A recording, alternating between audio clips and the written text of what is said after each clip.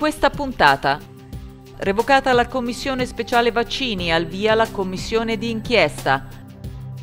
Scuola, no al sovraffollamento classi, sì ad organico Covid.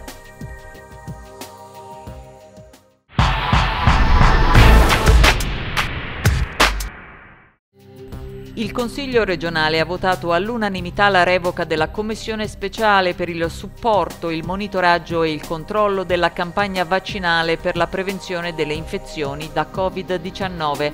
La delibera è stata portata al voto dell'Aula dopo la recente istituzione della Commissione d'inchiesta finalizzata alla verifica del corretto svolgimento delle misure messe in atto dal sistema sanitario regionale per contrastare la pandemia e in particolare della campagna vaccinale in Toscana.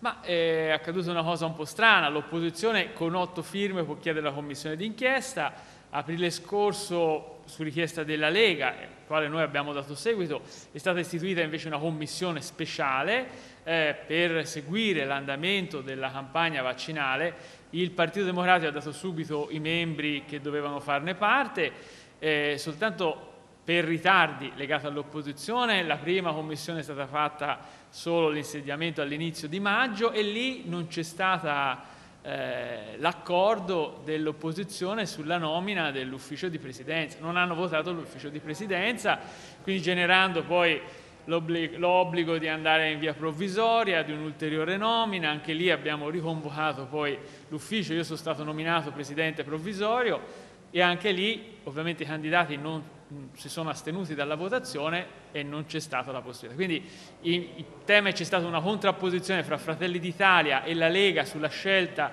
dello strumento sul quale evidentemente poi eh, è venuto fuori questa contrapposizione che ha portato a nulla. Per quanto ci riguarda abbiamo sempre detto che ci teniamo, ci tenevamo e ci teniamo a seguire, a dare un contributo alla campagna vaccinale, tant'è che noi già dal mese di marzo eh, tutti i giovedì audiamo l'assessore Bezzini e il direttore generale dell'assessorato per monitorare l'andamento dell'epidemia e della campagna vaccinale. Ci importano più i risultati al di là degli strumenti.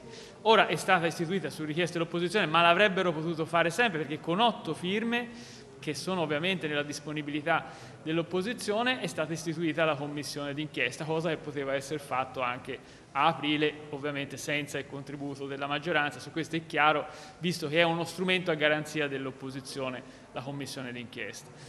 Vedremo, noi intanto come terza commissione, io sono il Presidente, continuiamo con il nostro lavoro.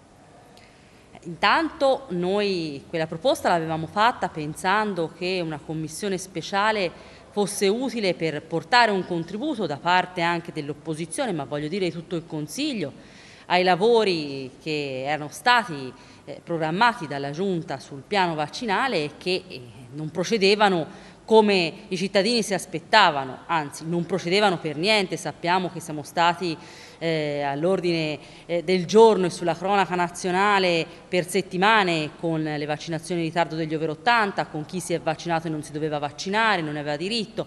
Noi pensavamo di dare un contributo.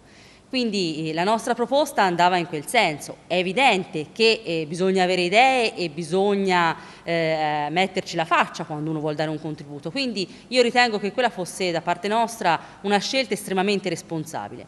Poi però eh, la maggioranza, che aveva la maggioranza in quella commissione, non ha deciso che non avrebbe votato l'ufficio di presidenza. Sappiamo che ci sono state anche scaramucce all'interno della maggioranza tra, tra Italia Viva e il PD che sono note e quindi si è arenata praticamente subito. E oggi, eh, che non è più il tempo della commissione speciale perché la campagna vaccinale eh, ha proseguito e quindi eh, molti dei nodi sono stati snodati, secondo noi nemmeno benissimo, siamo arrivati al punto che è diventata più opportuna una commissione d'inchiesta, quindi convintamente abbiamo firmato la commissione d'inchiesta e procederemo con quella per far luce su tutto quello che non ha funzionato. C'è un tempo per tutto. Ieri era il tempo della commissione speciale, oggi è il tempo della commissione d'inchiesta. Ci dispiace solamente che, come spesso accade, la maggioranza ha eh, alzato un muro nei confronti, in questo caso, della Lega e non ci ha consentito di poter dare un contributo che sarebbe stato assolutamente prezioso per tutti i cittadini, non per il Consiglio regionale o per una parte politica. Oggi in Consiglio regionale è andata in scena una farsa, nel senso che il Consiglio regionale ha revocato la commissione speciale sui vaccini che era stata istituita ben 90 giorni fa perché fino ad oggi soltanto col voto contrario di Fratelli d'Italia nacque questa commissione, non sono riusciti ad eleggere il Presidente e quindi è stata eh, sposata da tutto il Consiglio regionale la nostra proposta di fare una commissione d'inchiesta sulla pandemia e sui vaccini. Perché? Perché noi riteniamo che ci sia bisogno di aprire un focus importante su quanto è successo nei mesi scorsi, in particolar modo sulla campagna vaccinale, ma in generale sulla gestione della pandemia, perché ahimè la Regione Toscana, la gestione della campagna vaccinale della Regione Toscana è stata alla ribalta del palinsesto nazionale eh, delle tv e dei giornali italiani perché ci sono stati personaggi molto noti che eh, in Toscana hanno avuto corsie preferenziali nell'accesso al vaccino in maniera appunto con scorciatoie non, eh, ben, eh, non molto trasparenti perché riteniamo che su tutto questo si debba far luce. Non vogliamo processare nessuno, non vogliamo processare nemmeno l'assessore Bezzini che ha avuto una gestione pessima della campagna vaccinale, senza mai dare l'idea di avere la consapevolezza di quello che stesse succedendo intorno a sé, dando numeri che venivano smentiti l'indomani da lui stesso non vogliamo eh, processare nemmeno eh, il Presidente Gianni, che altrettanto si è smentito e contraddetto in continuazione durante questi mesi, creando soltanto confusione, caos e insicurezza nei confronti dei cittadini. Però vogliamo capire che cosa è successo. Cos'è successo con i medici di eh, famiglia che avevano dato la disponibilità a vaccinare a novembre e sono stati chiamati soltanto a marzo? Cos'è successo con i caregiver? Cos'è successo con i centri vaccinali aperti e chiusi con le confusioni che succedevano al Mandela Forum piuttosto che al CREAF di Prato. Ecco, pensiamo che su tutto questo fosse necessario accendere un focus e che lo strumento esatto fosse la commissione d'inchiesta come da noi proposta, unica forza politica. Oggi tutto il Consiglio regionale viene a sposare la proposta di Fratelli d'Italia dopo 90 giorni di insabbiamento della commissione speciale. Ma noi siamo stati i primi a chiedere un cambio di passo 5-6 mesi fa rispetto alla campagna di vaccinazione, questo ci va riconosciuto, un cambio di passo che c'è stato, attenzioni nuove che hanno rivolto una risposta importante, abbandonato il click day, dato risposta alle categorie che più di altre avevano bisogno, sono state date risposte in tempi a questo momento certi, abbiamo riscalato le graduatorie a livello nazionale, siamo arrivati a vaccinare per primi ragazzi maturandi, si sono date risposte importanti, gli hub sono aumentati, le imprese hanno dato risposta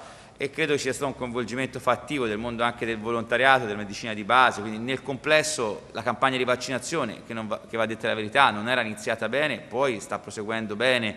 E quindi a questo punto la commissione speciale, sulla quale anche noi avevamo condiviso il fatto che si potesse far nascere è stata forse una molla che ha fatto impegnare tutti e meglio, quindi i risultati sono ottenuti. A questo punto da parte nostra il lavoro che potevamo fare è terminato, il lavoro è standardizzato, anzi deve continuare il lavoro dei medici, degli infermieri perché non è finito e con questo colgo l'occasione per ringraziarli del costante impegno, quindi credo che la politica faccia bene a portare rispetto a chi poi tutti i giorni negli hub vaccinali ci va, a tutti i giorni che coloro prestano attenzione, operatori sanitari, infermieri, volontari, medici. Io ho trovato negli hub tanto volontariato e tanti professionisti, molti anche di loro in pensione, che stanno dando l'anima anche nei mesi estivi, quindi io credo che sia il momento non tanto di fare le inchieste quanto di ringraziare chi tutti i giorni fa vaccini.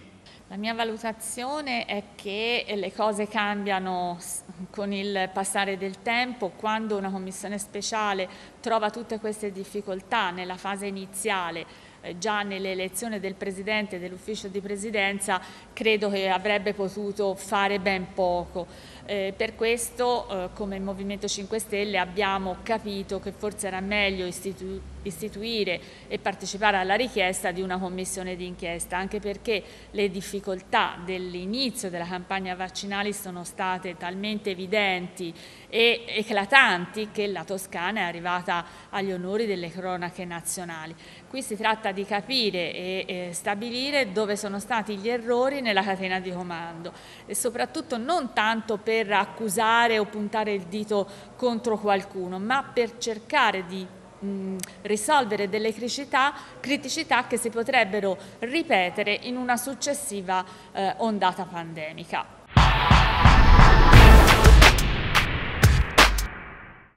No al sovraffollamento delle classi e sì all'organico Covid. È quanto prevede una risoluzione approvata all'unanimità dal Consiglio.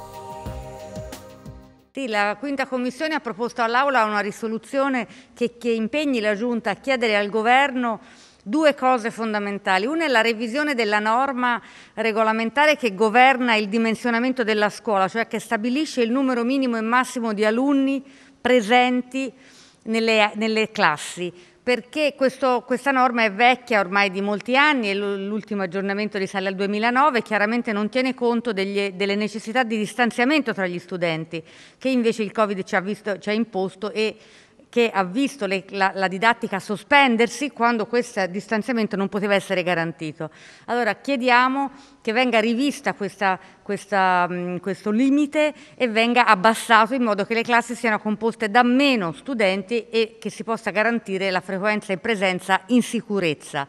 L'altro punto fondamentale nell'attesa che avvenga questa importante modifica normativa è che venga predisposto anche per quest'anno l'organico Covid, il cosiddetto organico Covid, cioè un contingente di insegnanti in più che consenta di fare più classi con minore, minor numero di alunni per classe. Questa è una risposta di breve periodo, immediata, chiaramente implica un impegno di risorse importanti per il Ministero Istruzione, ma crediamo che il bene e il valore della didattica in presenza siano da tutelare e da salvaguardare in ogni modo con la ripresa di settembre. Per questo la quinta commissione ha proposto all'Aula, approvandolo all'unanimità, un provvedimento che chieda di attivarsi incisivamente con il Governo per ottenere queste due, queste due, queste due modifiche, una di breve periodo, ripeto, e una di più lungo periodo che consenta di ragionare strategicamente sulla scuola con maggior cautela e attenzione.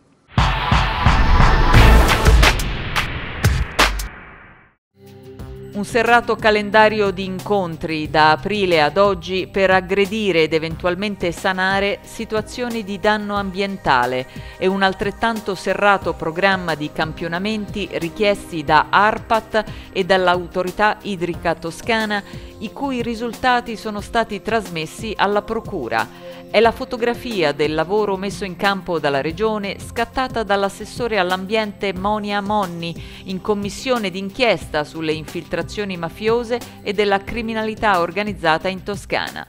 L'audizione di questa settimana è servita per rendere edotti i commissari delle attività di approfondimento svolte e ancora in corso sui siti di interesse dell'inchiesta della DDA di Firenze.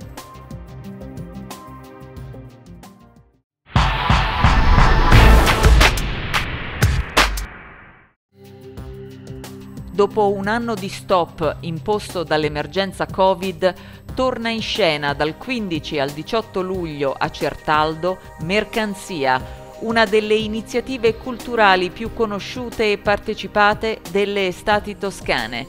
Il titolo dell'edizione di quest'anno, ridotta e su prenotazione per il contingentamento, è A rivedere le stelle, dedicata a Dante. Faccio una piccola descrizione della festa. Voi entrate dal basso lungo la Costa Vecchia che è stata aperta, riaperta a nuovo e già lì si intravedono gli angeli e i diavoli del tema dantesco. Arrivate subito a entrare nella festa e c'è il quinto canto di Dante, la compagnia del Dragonero Paolo e Francesca. E poi sempre lungo via del, del castello tutti questi stendardi con le frasi celebri di Dante, quelle che sono passate nel, nel linguaggio comune. Arriviamo in piazza Santissima Annunziata, un grande laboratorio all'aperto di artigianato, come in una piazza medievale, ma ecco è sulla parete dello Stiozzi di Dolfi una grande installazione luminosa sempre dedicata al poeta. E poi si entra nel girone dei Colossi e poi a destra, a sinistra. Ma ho detto, ma come? Taglia, taglia, taglia! È come aver disboscato un bosco troppo folto e ora forse si vede, ci si può gustare tante cose.